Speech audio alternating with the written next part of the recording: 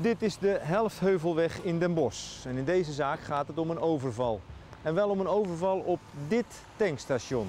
Op vrijdagmiddag 12 december ziet een medewerker een man aankomen lopen met een sjaal voor zijn gezicht. En meteen denkt hij, dit is foute boel. En hij probeert de deur nog op slot te doen. Net te laat. Het is rond half twee als de overvaller binnenkomt. Meteen trekt hij een pistool en richt dat op de medewerkers en blijft richten. Later vertellen ze dat ze doodsangsten hebben uitgestaan toen ze recht in de loop van het pistool keken. De overvaller gooit een tasje op de balie waar het geld in moet. Het gaat allemaal heel snel, al lijkt het voor de medewerkers een eeuwigheid te duren. Zodra de jongen genoeg heeft, gaat hij er weer vandoor. We zetten hem even voor u stil. Het is een lichtgetinte man van een jaar of 20, 1,75 meter lang en hij is vrij breed. Wat opviel waren zijn grote donkerkleurige ogen. Verder draagt hij hier een zwarte jas of bodywarmer met capuchon en heeft hij een sjaal voor zijn gezicht. Onder de capuchon is nog net de klep van een petje te zien.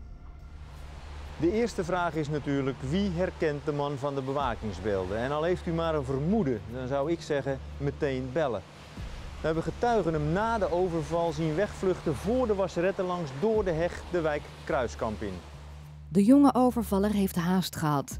Met dat tasje met geld moet hij door de wijk zijn gerend. Dat kan mensen zijn opgevallen. Een lichtgetinte jongen met een sjaal en een tasje bij zich. Wie herinnert zich dat?